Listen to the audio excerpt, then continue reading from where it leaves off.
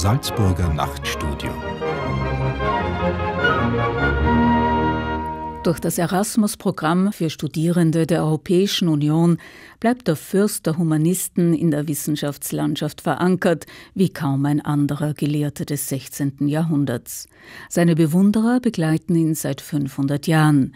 Damals, im Jahre 1516, legte er seine epochale Rekonstruktion des Neuen Testaments in griechischer Originalsprache vor, die erste umfangreiche textkritische Edition der Menschheitsgeschichte. Erasmus von Rotterdam hat sich damit in die Geschichtsbücher geschrieben. Weit über die Wissenschaft hinaus fand er enthusiastische Bewunderer, darunter Stefan Zweig, der Erasmus als ersten Europäer, streitbaren Friedensfreund und beredsten Anwalt des humanistischen Ideals bezeichnete. Ist es das, was bis heute fasziniert? 2016 wird in ganz Europa seiner gedacht, vor allem in Basel, jener Stadt, in der Erasmus von Rotterdam am längsten gelebt hat. Dort beginnt auch Günter Keindelsdorfers Suche nach den Spuren des berühmten Gelehrten des 16. Jahrhunderts. Der Glockenschlag des Basler Münsters. Als Erasmus von Rotterdam hier im Juli 1536 zu Grabe getragen wurde, gab ihm die halbe Stadt die Ehre. Schließlich wurde da der berühmteste Gelehrte seiner Zeit zur letzten Ruhe gebettet, der Fürst der Humanisten, ein hochgebildeter Mann, geachtet von Kaisern, Fürsten, Päpsten, Bischöfen und auch von vielen Anhängern der Reformation. Erasmus Bücher in einem anmutigen, von Klarheit und Frische durchdrungenem Latein geschrieben, waren zu ihrer Erscheinungszeit allesamt europäische Bestseller gewesen. In Basel kam Erasmus von Rotterdam, der im Laufe seines Lebens halb Europa durchstreift hatte, zur Ruhe, zumindest zeitweise, wie Marcel Henry, Kurator am Historischen Museum Basel, feststellt. Basel ist sicher eine wichtige Station, um nicht zu sagen, in seinem Leben war Basel jene Stadt, in der er die meisten Jahre verbracht hat. Das waren über zehn Jahre. Aber es ist eine Stadt in seinem Leben. Das Historische Museum Basel verfügt über den nicht schriftlichen Nachlass des Erasmus von Rotterdam. Marcel Henry führt den Besucher zu den kostbarsten Reliquien aus dem Erbe des Humanisten. Hier sehen wir sein persönliches Tafelmesser, wir verfügen über seinen persönlichen Dolch, wir haben noch zwei Goldbecher, die in seinem Besitz waren, das sind leider nur noch zwei. Wir wissen aus den Testamenten, dass Erasmus über 30 Gold- oder Silberbecher besaß. Zu Beginn des 16. Jahrhunderts war Erasmus von Rotterdam der Inbegriff des Weisen schlechthin. Man pries ihn als Doktor Universalis, als Fürsten der Wissenschaften. Ein halbes Jahrtausend nach seinem irdischen Wirken, das stellte bereits sein Bewunderer Stefan Zweig fest, strahlt der Ruhmesglanz des Erasmus schon weit weniger als zu seinen Lebzeiten. In seiner biografischen Studie Triumph und Tragik des Erasmus von Rotterdam, erschienen 1934, hält Stefan Zweig fest: Erasmus von Rotterdam ist heute, leugnen wir es nicht, kaum mehr als ein Name. Seine unzählbaren Werke, verfasst in einer vergessenen, übernationalen Sprache, dem humanistischen Latein, schlafen unaufgestört in den Bibliotheken. Kaum ein einziges der einstmals weltberühmten Werke spricht noch herüber in unsere Zeit. Das mag so sein. Dennoch bleiben Leben und Werk des Erasmus von Rotterdam ein faszinierendes Exempel für das Schicksal eines Intellektuellen, der sich in einem Jahrhundert der Extreme, dem 16., nicht irre machen lassen wollte in seinem Einsatz für Frieden und Humanität.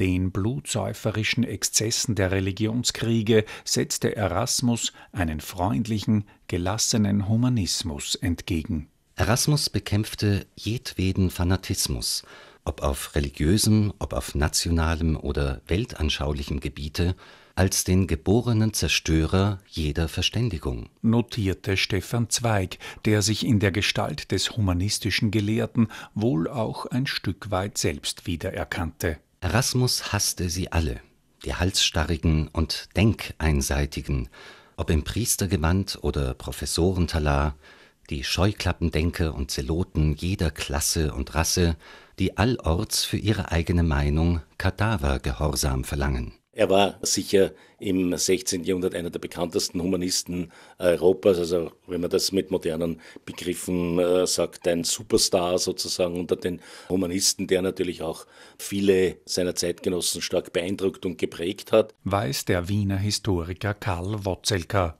Erasmus von Rotterdam, in den 1460er Jahren geboren, war der Präzeptor Mundi seiner Zeit ein wortgewaltiger Apostel der Menschlichkeit und ein brillanter Gelehrter dazu. Der Schweizer Kunsthistoriker Marcel Henry hat sich für ein Ausstellungsprojekt in Basel intensiv mit Leben und Werk des großen Humanisten auseinandergesetzt.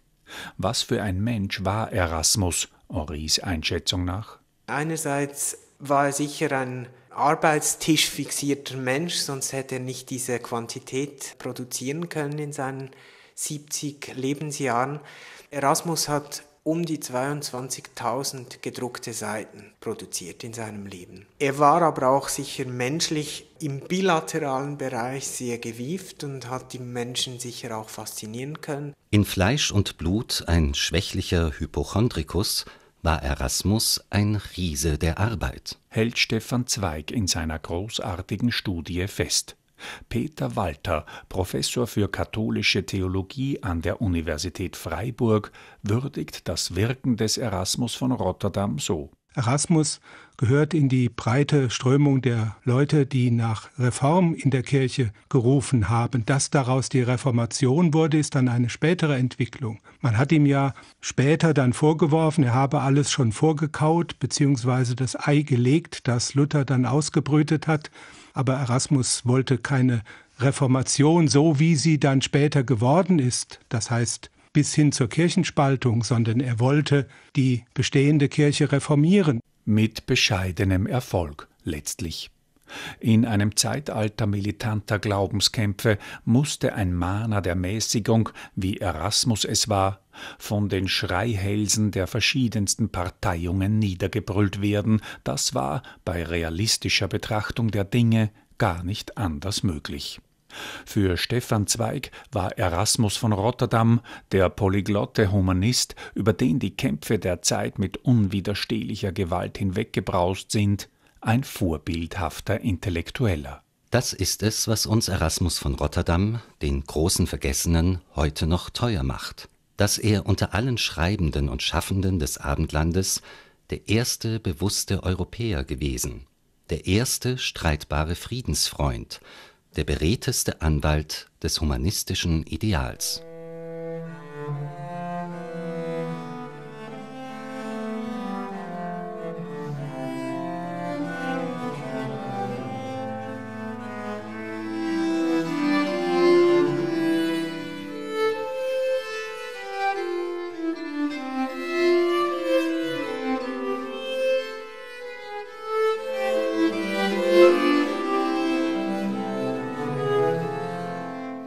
Was war das nun für eine Epoche, in der Erasmus von Rotterdam gewirkt hat? Der Übergang vom Spätmittelalter in die frühe Neuzeit war eine Zeit monumentaler Umwälzungen, wie der Wiener Historiker Karl Wotzelka ausführt. Die großen Umwälzungen haben schon in der Mitte des 15. Jahrhunderts begonnen. Man muss nur denken daran, dass Konstantinopel, also das alte Byzanz äh, erobert wurde und damit also das Osmanische Reich in Europa sich endgültig angesiedelt hat. Aber natürlich der Buchdruck, der ja eine ganz, ganz große Rolle spielt. Dann auch nach 1500 der Thesenanschlag Luthers mit der Entstehung des Protestantismus, die Reichsreformen unter Maximilian, die allerdings weitgehend gescheitert sind. Also eine ganze Reihe von Dingen, die sich in Europa ausgewirkt haben. Auf geistigem und intellektuellem Gebiet dominierte zu dieser Zeit eine Bewegung, für die Historiker Mitte des 19. Jahrhunderts die Bezeichnung Humanismus eingeführt haben. Als Ahnvater des Humanismus wird gemeinhin der italienische Dichter Francesco Petrarca angesehen. Der Humanismus, der in Italien im Wesentlichen entstanden ist, äh, ist auf der einen Seite eine Bewegung, die uns progressiv erscheint, die aber natürlich von den Zeitgenossen eher zurückblickend gemeint ist. Also man hat äh, sich an das alte römische Reich erinnert, das man natürlich völlig idealisiert hat. Also viele Dinge der Antike waren ausgeblendet, also etwa, dass das eine Sklavenhaltergesellschaft war. Darüber hat man weniger gesprochen, aber man hat sich an der Kunst und an der Kultur dieser Zeit orientiert, hat also die Schriften der Antike wieder aufgenommen, ist, wie das geheißen hat, ad fontes gegangen, also zu den Quellen zurück und hat also diese Handschriften verglichen miteinander, um eben den richtigen Urtext zu finden.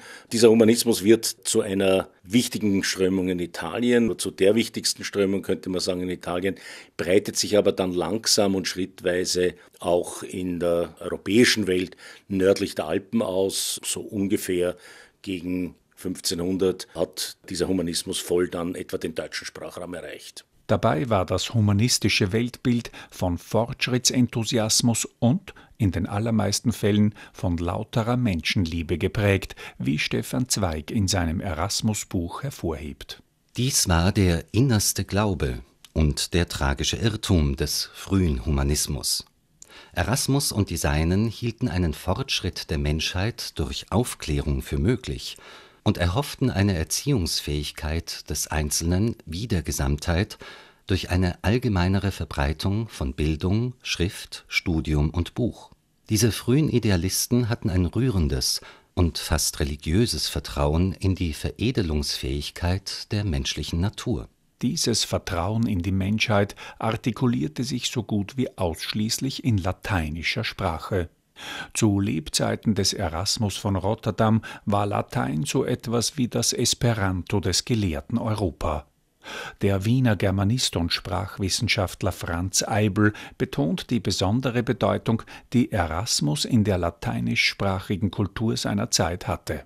Nachdem die europäische Kultur des 16. Jahrhunderts ja bis weit ins 18. Jahrhundert hinein eine lateinisch dominierte Kultur ist, war Erasmus sozusagen der Auslöser oder das Role Model eines neuen Typs des Umgangs mit Text und mit Sachverhalten, sprich ein Typ des neuen Gelehrten, des neuen Autors. Seinen Zeitgenossen galt Erasmus von Rotterdam als gottbegnadeter Stilist, als einer, der ein elegantes, reiches, fein ausdifferenziertes Latein kultivierte.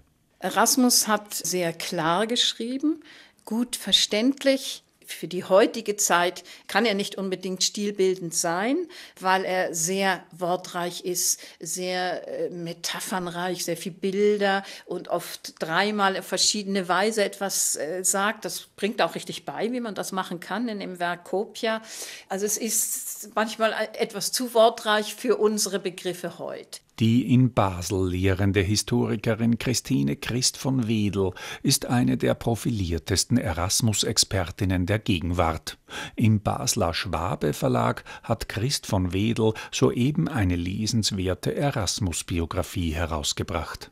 Die Kindheit und Jugend von Erasmus ist recht unbekannt. Wir wissen nicht einmal sicher, ob er ganz bestimmt in Rotterdam geboren wurde. wahrscheinlich. Sehr wahrscheinlich auch genau vor 550 Jahren, nämlich im Jahre 1466. Sicher wissen wir, dass er der zweite Sohn eines Priesters war, das heißt also ein illegitimer Bastard und eine Arzttochter. Wir wissen auch, dass beide sehr gebildet waren dass beide ihren Kindern die beste Ausbildung gaben, die es damals gab, zunächst in Gouda an einer Schule und dann in Deventer. Sie starben beide an der Pest relativ schnell hintereinander, als die Söhne Jünglinge waren, und äh, die traten in ein Kloster ein in verschiedene Klöster, nicht ins gleiche. Erasmus war an den besten Schulen, aber soweit wir ihm trauen dürfen, fühlte er sich überhaupt nicht wohl dort und er konnte dann eigentlich diese Bildung vertiefen, erst im Kloster. Ob an der Kirchspielschule in Gouda oder der Lateinschule in Deventer. Erasmus hat den Schulbetrieb gehasst. Nach allem, was wir wissen, war er ein unglücklicher Schüler. Über die Gründe dafür kann man nur spekulieren. Christine Christ von Wedel. Ja, da haben wir eben wenig Quellen. Meine These, aber das ist nur eine These, ist, dass er sich äh, wohl schämte, ein Priesterbastard zu sein. Das ist das eine. Das andere ist, dass die Schulen damals die normale Pädagogik pflegten. Das heißt, es wurde mit der Rute erzogen. Erasmus selber hat erlebt, wie sein Wille gebrochen wurde. Er wurde äh, beschuldigt einer Untat, die er gar nicht begangen hatte, und dann äh, einfach äh, so lange geschlagen, bis er sich nicht mehr wehrte, hat das uns erzählt in seinen pädagogischen Schriften, wo er dann eben ganz anders vorging. Für einen Mann des 15. und 16. Jahrhunderts hatte Erasmus ausgesprochen progressive Vorstellungen. Ihm schwebte zum Beispiel so etwas wie eine humanistische Reformpädagogik vor. Ihm ist sie nicht nur vorgeschwebt, er hat sie auch ausgeübt, allerdings nicht an kleinen Kindern, sondern an Jünglingen, die so von 13 an auf äh, reiche Jünglinge auf eine Art Kavalierstour geschickt wurden. Er hat sie mit lustigen Geschichten angeregt, er hat motivierend gewirkt, er hat aber auch sehr moderat, also natürlich ohne Rute und Peitsche, bei den größeren wohl sowieso, aber auch ohne Zwang und mit Pausen.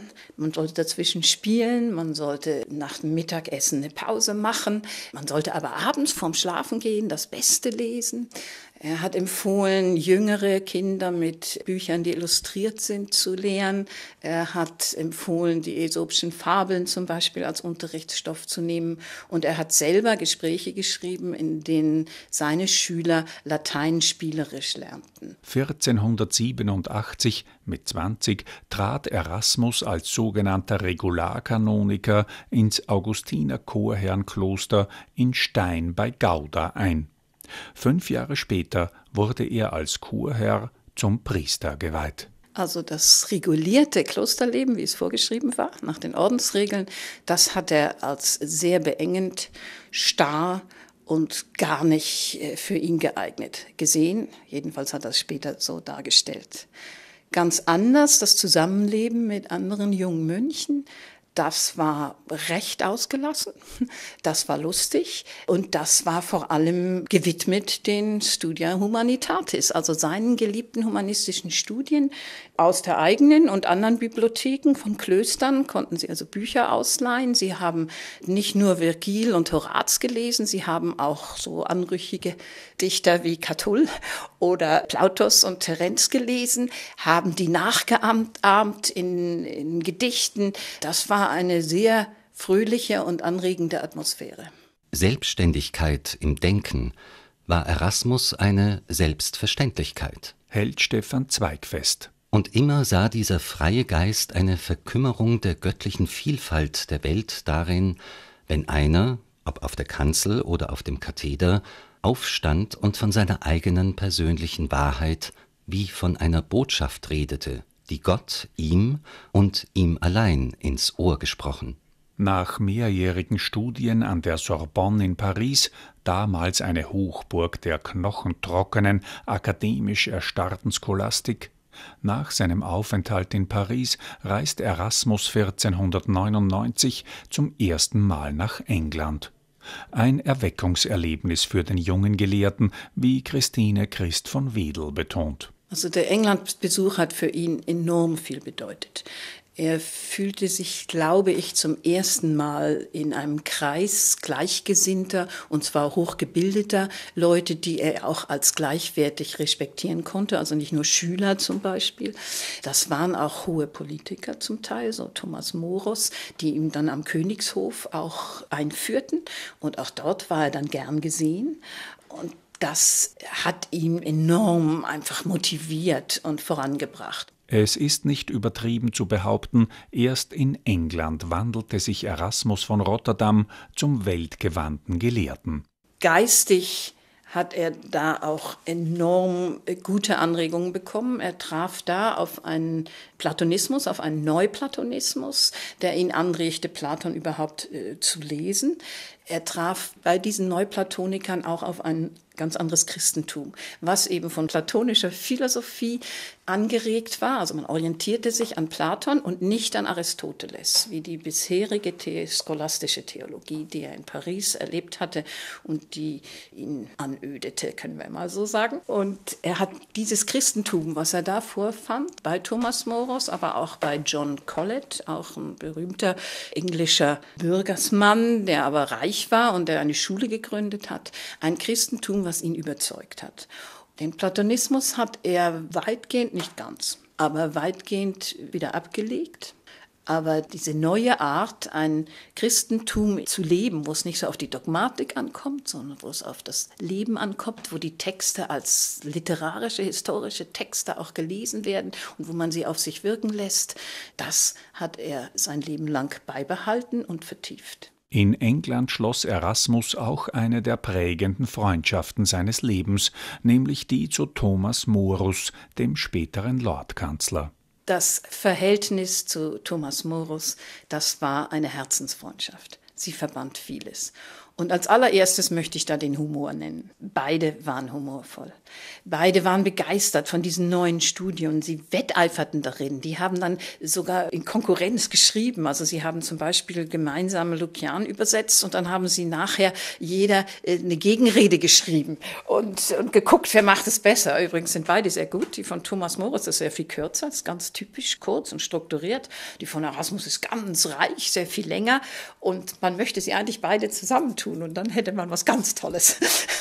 Aber da, da wurde in diesem Haus, in dieser Familie, Thomas Morus Familie war ja riesig, hatte er sehr viele Kinder, also mehrere Frauen auch nacheinander. Und da hat er sich enorm wohl gefühlt in diesem gastfreien Hause und hat zum Beispiel auch dort gelernt, das wissen wir aus einem Brief, aus Erfahrung habe er bei Morus gelernt, dass Frauen genauso bildsam seien wie Männer. Das war ja sehr umstritten. Das heißt, es war eigentlich nicht nur umstritten, sondern das galt als völlig unglaublich.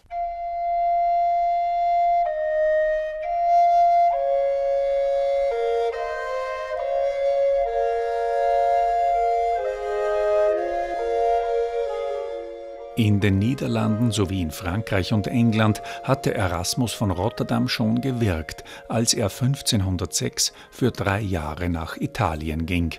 Ein folgenreicher Abschnitt seiner Biografie.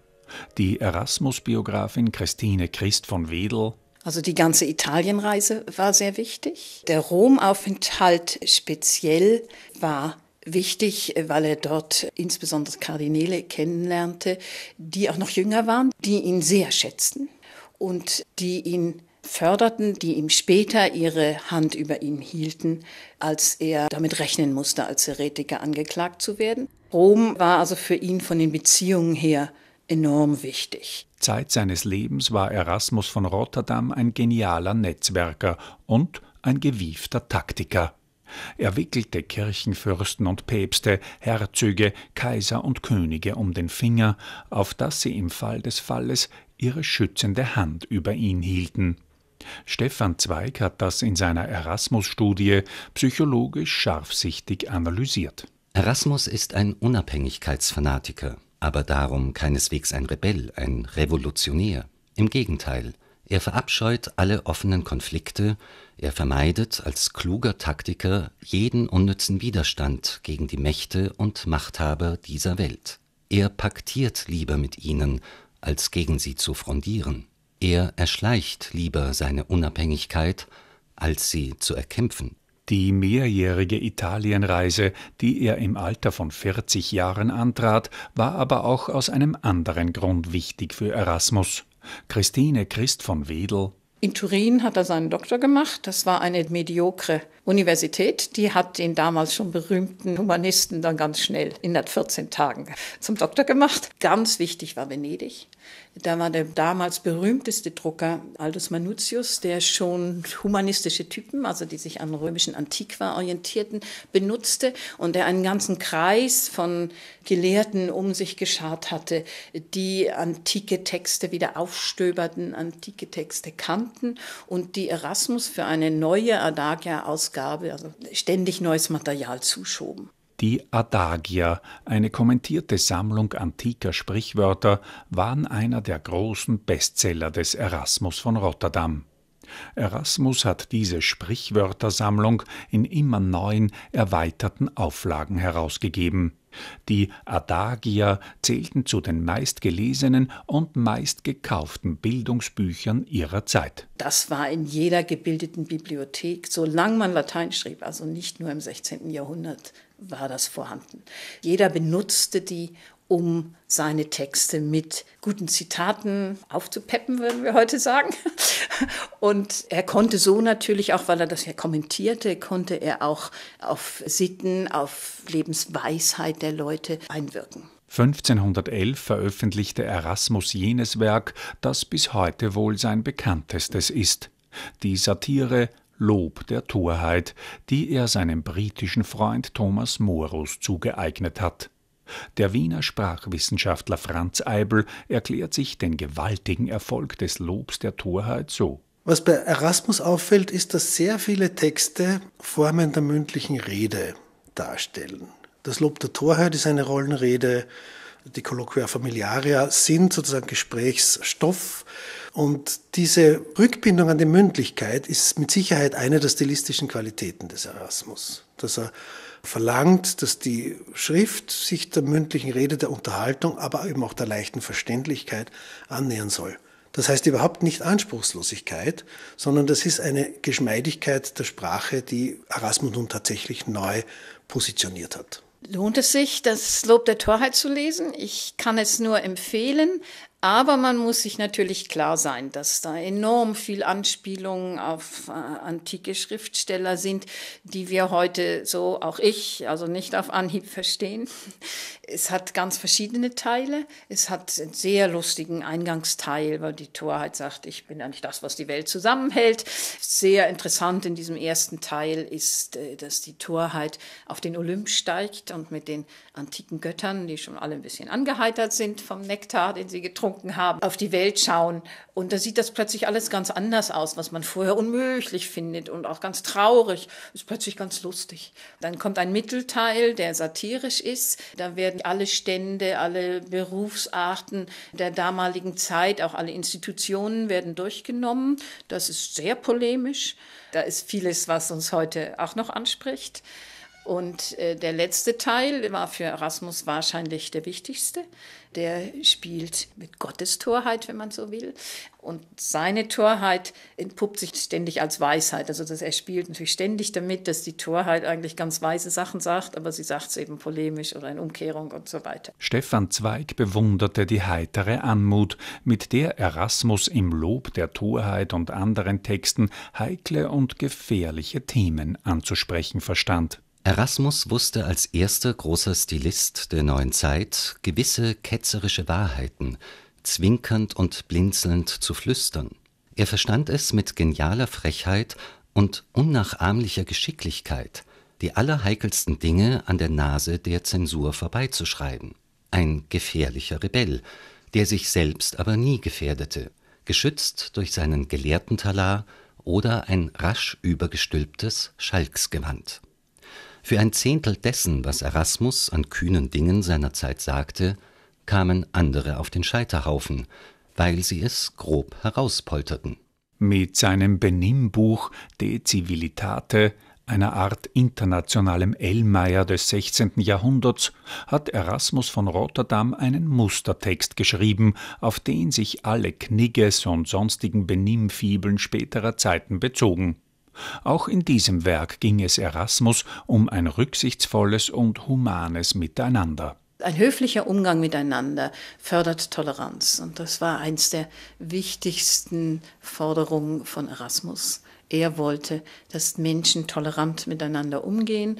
In den Kämpfen seiner Zeit, das waren ja die zwischen den verschiedenen Konfessionen, sagte er, man kann doch nebeneinander leben, man muss nur gut nachbarlich miteinander leben. Es ist möglich, im gleichen Gemeinwesen zwei Konfessionen zu haben und letztlich auch, das deutet er verschiedentlich an, auch verschiedene Religionen. Also auch Juden und Muslimen waren natürlich damals die Fragen des Zusammenlebens und das ist für ihn gut möglich. Man kann gut nachbarschaftlich miteinander leben. Das ist aber natürlich nur möglich, wenn eine gewisse Höflichkeit, eine gewisse Zivilisiertheit, ein freundschaftlicher Umgang möglich ist auf einer Ebene, wo man auch als Verschiedengläubiger oder auch sonst verschiedener Meinung Seiende miteinander anständig auskommt. Bei allen Bekenntnissen zur Toleranz und bei aller Liebe zu antiken Autoren wie Platon, Aristoteles, Plutarch und Cicero man kann das Denken des Erasmus von Rotterdam nur verstehen, meint der Wiener Sprachwissenschaftler Franz Eibel, wenn man Erasmus christlichen Hintergrund versteht. Er hat sich zu 100 Prozent als Christ gesehen. Und zwar als glaubensfester Christ, der sich der jesuanischen Botschaft der Menschenliebe und der Barmherzigkeit verpflichtet fühlt. Diese Botschaft sah Erasmus im Prunkkatholizismus seiner Zeit nicht mehr wirklich gewürdigt. Er ist kein Befürworter von Revolutionen. Er ist ein Befürworter, dass es eine christliche Weltordnung geben solle, die also die Torheit ebenso zurückdrängt wie die Willkür der Fürsten oder die Unsinnigkeit des Krieges. All diese Schriften zeugen davon, dass es um das gesunde, vernünftige Maß geht. Als Humanist träumt Erasmus nicht von einer Auflehnung gegen das Kirchliche, sondern von einer Renaissance des Religiösen, von einer Erneuerung der christlichen Idee durch die Rückkehr zu ihrer einstigen nazarenischen Reinheit. Schreibt Stefan Zweig in Triumph und Tragik des Erasmus von Rotterdam. Und weiter so wie in der Renaissance Kunst und Wissenschaft herrliche Verjüngung erfuhren durch das Zurückgehen auf die antiken Vorbilder, so erhofft Erasmus eine Läuterung der in Äußerlichkeiten erstickenden Kirche durch das Aufgraben ihrer ureigensten Quelle, durch die Rückführung der Lehre auf die Evangelien und damit auf Christus eigenes Wort. Mit diesem immer wieder erhobenen Wunsche tritt Erasmus an die Spitze der Reformation Erasmus stand für ein undogmatisches Christentum, und zwar ein Christentum, das alles ableitete aus der Liebe Gottes zu den Menschen, und daraus folgte dann die Liebe zum nächsten Menschen. Und aus all dem hat er eigentlich eine äh, Gesellschaftstheorie entwickelt, wenn man so will, eine neue Pädagogik, die sehr kindsgemäß, sehr menschenfreundlich war, eine andere Politik, eine Friedenspolitik, eine Politik, die auf Mäßigung und auf allgemeinen Nutzen aus war. Das war natürlich allgemein, das sagten alle. Aber die den Krieg, äh, das Recht, Krieg zu führen, in Frage stellte, das war ganz gewagt und außerordentlich. Ein ähm, Christentum, das die Liebe Gottes in den Vordergrund stellte, nicht seine Allmacht und nicht die Gerechtigkeit. Die Liebe Gottes, das stand im Mittelpunkt. Und aus der Liebe folgte Toleranz, aus der Liebe folgte eben Frieden, wie gesagt. Das äh, war eigentlich das Grundsätzliche. Man merkt, für seine Zeit war Erasmus von Rotterdam ein bemerkenswert progressiver Denker. Er setzte sich nicht nur für eine gewaltfreie Kindererziehung und ein friedliches Zusammenleben verschiedener Religionen und Kulturen ein, er sprach sich auch, so Christine Christ von Wedel, für das Recht auf Ehescheidung aus, und das im 16. Jahrhundert. Er sah enorm viel Leid durch die Ehegesetzgebung. Die katholische Kirche hatte ja durchgesetzt, dass sie überhaupt das Eherecht äh, bei ihr lag. Es war nicht möglich zu scheiden und wieder zu heiraten. Und Erasmus sagt, es gibt so viele, die enorm darunter leiden. Und er sagte, damals war das ein richtiger Entscheid in ehefeindlichen Zeiten, übrigens auch die vielen Ehehindernisse, die es gab. Das ist heute anders. Und aus seelsorgerlichen Gründen muss die Kirche auf diesen Entscheid zurückkommen. Und das haben dann die Reformatoren ja umgesetzt. Luther sehr schweren Herzens, in Basel sehr schnell, in Zürich auch mit erstaunlich vielen Gründen. Also vor allem natürlich Ehebruch war ein Grund, äh, dass man dann auch wieder heiraten durfte. Der unschuldige Teil, aber sie halten sogar offen, man könnte dann noch mal drüber reden beim anderen. Und Erasmus hat natürlich auch gewarnt, also er meine jetzt nicht, dass man da leichtfertig scheidet und dass einfach einer Ehebruch begeht und dann darf er die andere auch noch heiraten. Also das war nicht seine Meinung. 1516 legte Erasmus seine wahrscheinlich einflussreichste Schrift vor, seine epochale Rekonstruktion des Neuen Testaments in griechischer Originalsprache, die erste umfangreiche textkritische Edition der Neuzeit. Die Wirkung seines Neuen Testaments kann man sicher nicht überschätzen, aus dem einfachen Grund, weil sich die Reformatoren auf seine Bibelübersetzung gestützt haben. Zu Erasmus Zeit war die Bibelübersetzung des heiligen Hieronymus gebräuchlich, die sogenannte Vulgata. Diese Vulgata war eine lateinische Transkription der Heiligen Schrift aus hebräischen und altlateinischen Textvorlagen, die der Kirchenvater Hieronymus im vierten Jahrhundert erstellt hatte. Erasmus und seine Zeitgenossen hielten die tausend Jahre alte kirchenoffizielle Bibelübersetzung für verdienstvoll, aber fehlerhaft. Eine Verbesserung musste her. In mühevoller Kleinarbeit machte sich Erasmus zu Beginn des 16. Jahrhunderts daran, die griechischen Originaltexte des Neuen Testaments zu rekonstruieren und aus diesen Originaltexten eine möglichst präzise Neuübersetzung ins Lateinische anzufertigen. Franz Eibel ist noch heute voll Bewunderung für Erasmus Leistung. Er war nicht der Hersteller der modernen Textkritik, aber er war ein Vorreiter der modernen Textkritik. Es ist äh, humanistische Tätigkeit, dass man zurückgeht, dass man Texte vergleicht, um an den Urtext heranzukommen, den möglicherweise verschollenen Urtext zu rekonstruieren. Und das war das, was er auf sich genommen hat. Die Neuübersetzung, vor allem aber auch das Herstellen, Emendieren eines brauchbaren griechischen Textes, kann man nicht hoch genug einschätzen. Es hat sich sehr gelohnt für den Drucker finanziell und es hat sich auch sehr gelohnt für das Renommee von Erasmus. Aber viel wichtiger ist eigentlich die Neuübersetzung des lateinischen Textes. Es gab eine Übersetzung vom Kirchenvater Hieronymus, also aus der Spätantike. Das heißt teilweise vom Kirchenvater Hieronymus, dass Erasmus da fragte, was war es überhaupt von ihm, war nun auch schon sehr gewagt. Und dass man eben diesen Text, der seit Jahrhunderten von Heiligen gebetet wurde, der in der Messe gelesen wurde, dass man diesen Text veränderte, war unglaublich. Das äh, hat enorm Widerstand gebracht, mit dem Erasmus in dem Maß nicht gerechnet gerechnet hat. Er hat damit gerechnet, aber nicht in dem Maße.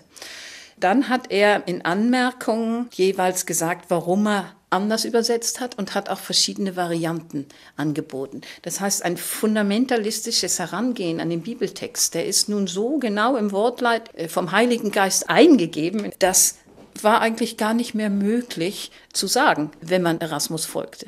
Sie können sich vorstellen, dass es heute noch sehr viele Menschen gibt, die glauben, sogar ihre deutsche Übersetzung sei das einzig wahre Wort und, und da kann man nichts dran rütteln. Seit Jahrhunderten gab es diese eine lateinische Übersetzung in der abendländische Kirche, approbiert von der Kirche. Und nun kommt jemand und ändert daran rum. So skandalös das damals vielen erschien. Erasmus Neuübersetzung des Neuen Testaments wurde von vielen begeistert begrüßt. Reformatoren wie Luther und Zwingli nutzten die Edition des Erasmus als Grundlage für ihre umstürzlerische Neuinterpretation des Christentums, Luther auch für seine Bibelübersetzung ins Deutsche.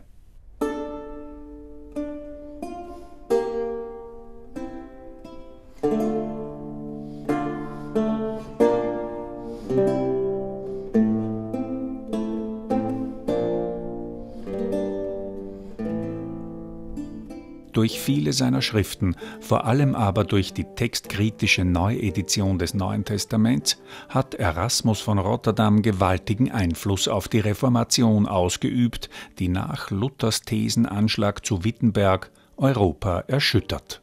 Er hatte grundsätzlich Sympathien für gewisse Gedanken der Reformatoren. Er hatte aber überhaupt kein Verständnis für jegliche kriegerische Maßnahmen, die mit der Reformation verbunden waren. Die Reformation war der große Prüfstein im Leben des Erasmus von Rotterdam. Eigentlich, meint der Wiener Historiker Karl Wotzelker, war die Reformation ja eine Revolution. Also die Reformation war in der Anfangsphase sicher revolutionär und hat das gegen das Establishment, würde man heute modern sagen, also gegen die bestehende Ordnung, eine gewisse Aufmüpfigkeit gehabt und Widerstände geleistet. Das wesentliche Element, äh, das hat auch wieder mit den Veränderungen am Beginn des 16. Jahrhunderts zu tun, das wesentliche Element war der Buchdruck. Der gute Jan Hus hatte zwei Handicaps. Das eine war, er sprach und schrieb in einer Sprache, die weniger Menschen sprachen als Deutsch, nämlich auf Tschechisch. Und zweitens, es gab damals noch keinen Buchdruck. Also Luthers Flugschriften etwa, also auch die großen Flugschriften von der Freiheit eines Christenmenschen und so weiter, die sind ja in einer unbeschreiblichen Auflage erschienen. Nicht? Das sind also 600 Auflagen und insgesamt sind also 600.000, 700.000 Exemplare erschienen. Das muss man sich vorstellen in einer Zeit, wo viele Leute gar nicht lesen konnten, wo die Bevölkerung grob gesprochen, naja, ein Zehntel bis ein Fünftel der heutigen Bevölkerung ist. Also das sind ja Auflagen, von denen heute jeder Autor nur träumen kann. Also zunächst hat Erasmus Luther als einen Mitkämpfer gesehen. Er hat ihn zunächst gar nicht so furchtbar ernst genommen. Die berühmten Ablassthesen von Luther, die ihn ja bekannt gemacht haben, die hat er unkommentiert Morus geschickt. Also es war schon was, was man zur Kenntnis nahm, aber man musste gar nicht groß darüber reden, denn den Ablass fanden natürlich Morus und Erasmus auch unmöglich. Er hat Luther sehr lange gedeckt und sah in seiner Theologie eigentlich sehr viel Verwandtes, also nicht nur die Kirchenkritik, Kritik an Klöstern und so weiter, sondern auch in den Grundsätzen der reformatorischen Theologie, die man ja in vier Sachen zusammenfasst, also Christus allein, die Schrift allein, der Glaube allein und die Gnade allein. Das heißt also, Christus allein, Christus ist der, der den Menschen, äh, den Menschen selig macht durch seinen Tod und Heilige anzurufen, hat gar keinen Sinn, sondern wir sollen zu Gott und Christus beten. Dann die Schrift allein, es ist, was die in der Schrift niedergelegt ist, das gilt. Kirchliche Lehrentscheidungen sind zu hinterfragen. Dann der Glaube allein, dass es nicht die guten Werke sind, die den Menschen selig machen, dass es nicht auf seine Leistung ankommt, sondern eben, wie das dann schon das vierte, die Gnade, die man im Glauben annimmt. Und durch die Gnade werden wir gerettet. Das sind auch erasmische Positionen. Da war sehr, sehr vieles Gemeinsames und Erasmus hat dann auch den ersten Gegnern von Luther gesagt, also hört mal, was ihr dabei Luther ankreidet, das findet ihr zum Beispiel, die Rechtfertigung aus Glauben findet ihr bei Bernhard von Clairvaux, da findet ihr das ja ganz toll und ihr findet das auch bei Augustin. Das wurde natürlich immer schwieriger nach 1521, als Luther in Worms als Heretiker verurteilt wurde und dann auch in die Reichsacht kam. Da hat Erasmus trotzdem diese Position weiter vertreten. Über kurz oder lang, daran hat Christine Christ von Wedel keinen Zweifel, mussten Martin Luther und Erasmus von Rotterdam sich entzweien. Zu unterschiedlich waren die Temperamente der beiden Männer, zu unterschiedlich letztlich ihre Prioritäten. Ein entscheidender Unterschied ist natürlich und vielleicht der allerwichtigste ist, für Luther gab es feste Dogmen, feste Glaubenswahrheiten und auf denen muss man bestehen und da gibt es nur Ja oder Nein. Und Erasmus sagte entweder und oder. Wir wissen es nicht so genau. Enorm viel ist geheimnisvoll, enorm viel ist dunkel. Das sagte er natürlich auch als der Philologe, der merkte, dass die Texte nicht immer so eindeutig sind. Vielleicht war mal einer eindeutig, aber er ist nicht mehr eindeutig überliefert. Er war da viel, viel beweglicher, wenn man so will. Also Erasmus ist der, der sagt, auch die Bibel verstehen wir nicht immer richtig. Wir sind uns einig, die Bibel ist die letzte Autorität für theologische Aussagen, aber die Bibel ist eben oft zweideutig. Und es ist nicht klar, wer die richtige Auslegung hat. Und für Luther war klar, dass er, wenn er lang genug über einen Text gebetet und meditiert hat, die richtige Auslegung hat. Das ging ja so weit, dass er dann in der Sakramentslehre sich auch von den Reformierten, also von Theologen wie Zwingli in Zürich oder Ökolombard in Basel, getrennt hat. Stefan Zweig ist in seinem Erasmus-Buch Partei. Bei aller Bewunderung für Luthers kompromissloses Kraftlackeltum, bei aller Hochachtung auch vor den Leistungen des Sprachkünstlers Luther, der mit seiner Bibelübersetzung literarische Maßstäbe gesetzt hat. Letztlich lässt Stefan Zweig kein gutes Haar am deutschen Reformator. Hier beginnt die Tragödie des Erasmus. Er hatte als der erste deutsche Reformator nach den Gesetzen der Vernunft die katholische Kirche zu erneuern gesucht. Aber ihm, dem weitsichtigen Geistmenschen, dem Evolutionär, sendet das Schicksal den Tatmenschen entgegen. Luther, den Revolutionär, den dämonisch getriebenen, dumpfer deutscher Volksgewalten. Mit einem Schlage zertrümmert Dr. Martins eiserne Bauernfaust, was die feine, bloß mit der Feder bewehrte Hand des Erasmus zaghaft zärtlich zu binden sich bemühte.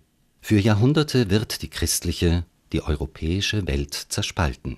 Katholiken gegen Protestanten, Norden gegen Süden, Germanen gegen Romanen. Es gibt in diesem Augenblick nur eine Wahl für den deutschen, den abendländischen Menschen, entweder papistisch oder lutherisch. Aber Erasmus weigert sich als der einzige unter den Führern der Zeit Partei zu nehmen. Er tritt nicht auf die Seite der Kirche, er tritt nicht auf die Seite der Reformation, denn er ist beiden verbunden. Luther seinerseits hat zunächst gehofft, Erasmus für sich zu gewinnen und hat ihm sehr schmeichelhaften Brief geschrieben, unter anderem. Er hat das Neue Testament sofort benutzt, also nicht nur für die Übersetzung, den griechischen Text, sondern auch den lateinischen Text, die Anmerkungen, auch später die Paraphrasen. Das kippt dann und als er merkt, dass Erasmus, das dann Anfang 20er Jahren, so 23, als er merkt, dass Erasmus nicht dafür zu gewinnen ist, sich der Reformation anzuschließen, da kippt es mehr und mehr in Hass. Und 1524 ist dann Erasmus auch so weit, um seine neutrale Stellung überhaupt noch ein Stück weit halten zu können. Er konnte sie eben nicht mehr ganz halten. Da hieß es eben, entweder ist man für Rom oder man ist für Wittenberg. Und da hat er die Schrift für den freien Willen oder gegen den gebundenen Willen geschrieben. Und in dieser Schrift dann Luther auch theologisch angegriffen, allerdings auf eine sehr moderate Art und Luther antwortet voller Hass. Luther, der einstige Bewunderer des Erasmus von Rotterdam, schreitet zu einer hasserfüllten Abrechnung mit dem Gelehrten, den er vergebens auf seine Seite zu ziehen gehofft hat. Luther schreibt Dazu nehme ich euch alle als Zeugen, dass ich Erasmus für den größten Feind Christi halte, als keiner in tausend Jahr nit gewesen ist. Wer den Erasmus zerdrücket, der würget eine Wanze, und diese stinkt noch tot, mehr als lebendig. Erasmus stand in seiner Zeit zwischen den Fronten. Er war institutionell immer auf der Seite von Rom grundsätzlich. Er war immer gegen eine Kirchenspaltung. Er war aber, was die Haltung Rom gegenüber anbelangt, sicher auch auf der Seite der Reformatoren. Er wird auch immer wieder als Person genannt, die die Reformation auch begünstigt hat, er setzt sich immer für den Frieden ein. Das ist ihm eigentlich das Wichtigste. In jeder Situation steht der Friede über allem. Erasmus stellt sich als Mittler in die Mitte und damit an die gefährlichste Stelle. Resümiert Stefan Zweig. Er versucht mit seinen nackten Händen Feuer und Wasser zu mischen, die einen Fanatiker zu versöhnen mit den anderen. Unmögliche und darum doppelt großartige Bemühung. Erst versteht man in beiden Lagern seine Haltung nicht und hofft, weil er milde spricht, man könne ihn für die eigene Sache gewinnen. Kaum aber, dass sie beide begreifen, dass dieser Freie für keine fremde Meinung Ehre und Eid gibt und keinem Dogma Schützenhilfe leisten will, prasselt von rechts und links Hass nieder auf ihn und Verhöhnung. Weil Erasmus zu keiner Partei will, zerfällt er mit beiden. Erasmus hat ganz früh schon vorhergesehen oder mindestens befürchtet, er schreibt das verschiedentlich, dass das auf Bürgerkriege, blutige Bürgerkriege hinausläuft. Und er hat sein Leben lang, bis am Schluss, hat er versucht, Leute zu motivieren, Gegensteuer zu halten. Es kam ja dann auch vom kaiserlichen Hof gefördert, wo er ja gute Freunde hatte, zu Religionsgesprächen. Man kam sich auch sehr nahe also Melanchthon und Cajetan oder so. Aber es kam dann immer aus Rom und aus Wittenberg kam Jet, das kommt nicht in Frage. Eigentlich sein Leben lang hat er probiert, die Kirchen wieder zusammenzuführen, hat auch entsprechende Schriften geschrieben, die auch von den Protestanten dann rezipiert und sogar übersetzt wurden. Also sein ehemaliger Schüler Capito, Reformator in Straßburg, hat dann diese Schrift Einheit der Kirche hat er übersetzt ins Deutsche. Aber sie hatte nicht die Durchschlagskraft, dass sie sich durchsetzen konnte. Basel das war die Stadt, in der sich Erasmus von Rotterdam zeitlebens vielleicht am wohlsten gefühlt hat. 1514 kam er zum ersten Mal in die Stadt, die malerisch am ersten südlichsten Rheinknie liegt. In Basel freundet Erasmus sich mit dem Drucker Johann Froben an, einem Meister seines Fachs, der zahlreiche Druckschriften des Humanisten in erfolgreichen Ausgaben edieren wird. Da Erasmus in Latein schreibt, der Lingua Franca seiner Zeit, einer Sprache, die jeder Gebildete zwischen London, Wien und Rom versteht, kann Froben die Bücher in ganz Europa verkaufen, ein Riesengeschäft. Aber nicht nur wegen seiner Freundschaft zu Froben fühlt Erasmus sich in Basel wohl, wie der Historiker Marcel Henry betont. Also Basel ist ganz frisch in dieser Zeit Teil der Eidgenossenschaft. Basel ist aber eine freie Reichsstadt, also man hat eine gewisse Autonomie hier. Es gibt auch natürlich im Bereich des Druckwesens hier sehr vorteilhafte Bedingungen. Man kann hier drucken, was in anderen Städten nicht möglich ist. Eine Stadt, die sich unter Erasmus auch weiterentwickelt. Er ist ein Star. Man will in seine Nähe kommen und Erasmus hat sehr viele Schüler, die ihn hier besuchen. Und das hat natürlich auch auf die Stadt zurückgewirkt. Erasmus war ein unerhört produktiver Schriftsteller, einer, der den Geruch vom Druckerschwärze und die Atmosphäre in der Werkstatt seines Druckerfreundes Froben über die Maßen genossen hat. 150 Bücher hat der fleißige Humanist Zeit seines Lebens geschrieben. Daneben blieb in Basel aber auch Zeit für gesellige Tischrunden, wie die Erasmus-Biografin Christine Christ von Wedel hervorhebt. Er muss ein brillanter Gastgeber gewesen sein und ein brillanter Causeur. Also wir haben da verschiedene Berichte und wir haben auch von ihm selber Erzählungen, wie das da wohl zu und her ging. Es muss sehr interessant gewesen sein. Also Erasmus war ein Mensch, der immer gern die Sachen von zwei Seiten anguckte und äh, das liebte er dann eben auch in diesen Gesprächen. Wir wissen, dass, dass er da zum Teil auch diese neuen Gedanken entwickelte im angeregten Gespräch. Die geselligen Tischgespräche im Hause des Erasmus haben ausschließlich auf Latein stattgefunden, versteht sich. Ende der 1520er Jahre bricht auch in Basel die Reformation aus. Damit haben die geselligen Runden ein vorläufiges Ende. Die Basler Reformationsanhänger schreiten zum Bildersturm. Sie zerstören und zertrümmern kostbare Kunstwerke in Kirchen und Klöstern, Sie gehen gegen die traditionelle Heiligenverehrung vor, die sie für ketzerischen Personenkult halten, und sie wollen Alkoholbeschränkungen und ein sittenstrenges Kleiderregiment für Männer und Frauen durchsetzen. Für Erasmus ist das alles ein Graus. Er ergreift die Flucht und zieht etwas weiter rein abwärts ins habsburgisch-katholische Freiburg. Sechs Jahre hält er's dort aus. Am Ende seines Lebens kehrt der Gelehrte wieder nach Basel zurück. Hier stirbt er im Juli 1536, hochgeehrt und hochgeachtet, obwohl er sich bis zum Schluss nicht zur Reformation bekennen will. Aber auch die katholische Kirche, der Erasmus ja trotz aller Kritik die Treue gehalten hat, hat ihm sein Engagement nicht gedankt. Wenige Jahre nach seinem Tod auf dem Konzil von Trient wurden Erasmus Werke auf den Index gesetzt. Ich liebe die Freiheit, ich will und kann niemals einer Partei dienen. Diese Worte hat Erasmus in den 1520er Jahren dem militanten Reformationsanhänger Ulrich von Hutten entgegengeschleudert.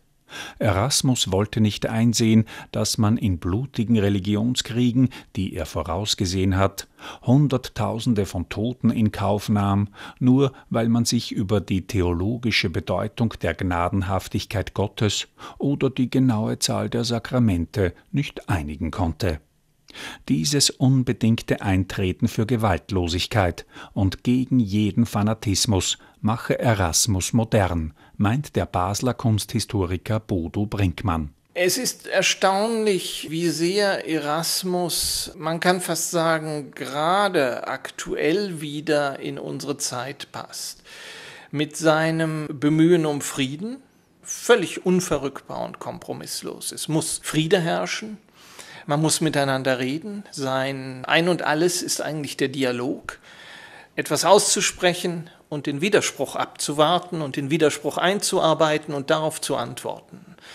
Und wenn Sie sich die aktuelle Weltlage und die Bemühungen der Diplomatie gerade gegenwärtig anschauen, zwischen scheinbar völlig unvereinbaren Positionen zu vermitteln, dann ist das etwas, was eigentlich erstaunlich aktuell geblieben oder sogar wieder geworden ist in letzter Zeit. Erasmus von Rotterdam war, als reiselustiger Gelehrter und als grenzüberschreitender Menschenfreund, ein überzeugter Europäer. Stefan Zweig hätte es gewiss gefallen, dass die Europäische Union ein großes Studierenden- und Lehrendenaustauschprogramm 1987 nach Erasmus benannt hat. In seinem brillanten Erasmus-Buch stellt Stefan Zweig den sanften, lächelnden Humanismus des Erasmus von Rotterdam immer wieder dem Fanatismus der reformatorischen Glaubenseiferer Luther, Zwingli, Calvin, Huss und Münzer gegenüber. Unvergessliche Gestalten sie alle, wehrhaft in ihrer gläubigen Wut, ekstatisch in ihrem Leiden, groß in ihrem Geschick. Hinter ihnen brennt die verhängnisvolle Flamme des religiösen Wahns ins Weite, die verwüsteten Burgen des Bauernkriegs zeugen lästernd für den von jedem Zeloten anders missverstandenen Christus, die zerstörten Städte, die geplünderten Gehöfte des Dreißigjährigen Krieges, diese apokalyptischen Landschaften, sie klagen die irdische Unvernunft des Nicht-Nachgeben-Wollens vor den Himmeln an. Mitten aber aus diesem Getümmel, ein wenig hinter den großen Kapitänen des Kirchenkrieges und deutlich abseits von ihnen allen, blickt das feine, von leichter Trauer überschattete Gesicht des Erasmus. Er steht an keinem Marterpfahl, seine Hand ist mit keinem Schwert bewehrt, keine heiße Leidenschaft verzerrt sein Gesicht, aber klar hebt sich das Auge, das blau leuchtende und zarte, das Holbein unvergänglich gemalt, und blickt durch all diesen Tumult der Massenleidenschaften herüber in unsere nicht minder aufgewühlte Zeit. Eine gelassene Resignation umschattet seine Stirn. Ach, er kennt diese ewige Stultitia der Welt. Doch ein leichtes, ganz leises Lächeln der Sicherheit spielt um seinen Mund. Er weiß, der Erfahrene, es ist der Sinn aller Leidenschaften, dass sie einmal ermüden. Es ist das Schicksal jedes Fanatismus, dass er sich selbst überspielt. Die Vernunft, sie, die ewige und still geduldige, kann warten und beharren. Manchmal, wenn die anderen trunken toben, muss sie schweigen und verstummen. Aber ihre Zeit kommt. Immer kommt sie wieder. Mit einem Zitat von Stefan Zweig aus dessen Buch Triumph und Tragik des Erasmus von Rotterdam, das als Fischer-Taschenbuch erhältlich ist, schließt Günter Keindelsdorfer sein Salzburger Nachtstudio über den Fürsten der Humanisten. Die Erasmus-Biografie von Christine Christ von Wedel ist im Basler Schwabe Verlag erschienen. Die Zitate las Alexander Czernek und für Redaktion und Technik verabschiedet sich Elisabeth Nöstlinger. Kommenden Montag lade ich Sie wieder zu einem City Science Talk in den Wiener Ringturm ein. Ab 18 Uhr diskutieren dort mit mir der Regisseur von Marlene Haushofers Die Wand und Comerex Inspektor Simon Bolt, Julian Bölsler, sowie der Poet und Zen Bodo Hell, die Kulturwissenschaftlerin Simone Ecker und die Autorin Renate Zöller über Heimat, Sehnsuchtsort im Widerspruch. Wenn Sie über die Wurzeln des Lebens und die Frage, woher komme ich, wohin gehe ich und wer will ich sein, mitdiskutieren wollen, melden Sie sich bitte unter oe1service.orf.at via Mail oder telefonisch unter 01 501 70 371 an.